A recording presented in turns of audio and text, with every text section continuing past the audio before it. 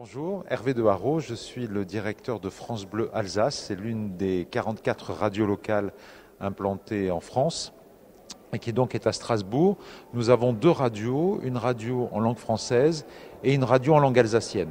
La radio en langue alsacienne est sur Internet, c'est une euh, web radio, on va dire, qui est filmée et euh, notre projet est d'en faire une radio transfrontalière avec l'Allemagne et la Suisse, puisque l'alsacien est une langue qui est interpénétrable avec l'allemand.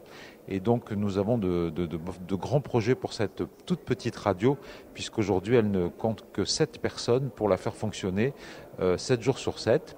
C'est une radio dont l'objectif et euh, de pouvoir euh, permettre aux personnes de pratiquer leur langue, mais dans la vie moderne. C'est-à-dire que nous souhaitons démontrer qu'une langue régionale peut servir dans la vie de tous les jours, et notamment dans le monde économique, puisque avec l'alsacien, on peut se débrouiller avec les Allemands, et on sait que le marché de l'emploi aujourd'hui se trouve en Allemagne, et donc nous avons énormément, plusieurs dizaines de milliers de personnes qui chaque jour traversent la frontière pour aller travailler en Allemagne.